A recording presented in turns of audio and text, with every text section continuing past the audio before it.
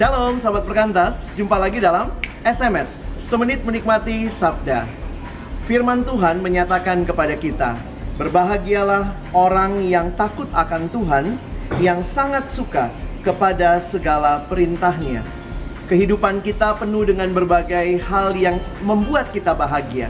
Tapi pertanyaannya apakah firman Tuhan juga menjadi kebahagiaan yang selalu memberkati kehidupan kita?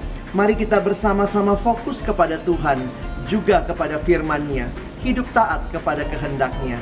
Sudahkah hari ini kita membaca dan merenungkan firman Tuhan dan melakukannya serta membagikannya di dalam kehidupan kita? Mari nikmati kebahagiaan karena ada firman Tuhan yang diam di dalam hati kita. Sampai jumpa.